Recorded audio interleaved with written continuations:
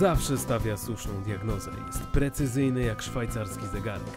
Służba zdrowia schodzi na psy, ale nie doktor Witold Pieniążek.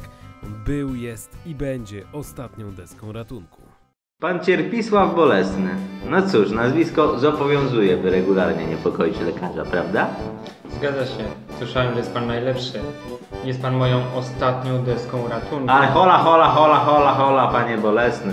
Zamontowali u mnie ostatnio kamery w gabinecie, więc wie pan, bez takich i do rzeczy.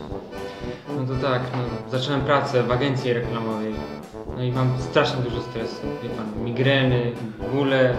No, szukam pomocy. Rozumiem, panie Bolesny. Agencja reklamowa, mówi pan. Pracowałem kiedyś, pracowałem. Zawsze, gdy zgłaszałem pomysły, koncepcje, było lecz się pieniążek, lecz. No i jestem tutaj, leczę ludzi, widzi pan. Mogę panu dać taką radę. Z nową pracą jest jak z właściwym myciem rąk.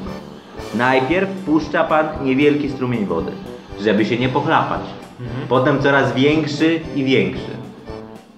I tak samo z nową pracą. Najpierw małe kroczki, potem coraz większe, żeby nauczyć się odpowiednio reagować na stres.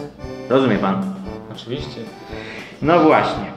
Myślę, że to panu pomoże. Przepiszę panu jeszcze takie pigułki na stres, tylko proszę chwilę poczekać, bo wie pan, wymysły ministerstwa, trzeba recepty wprowadzać do systemu.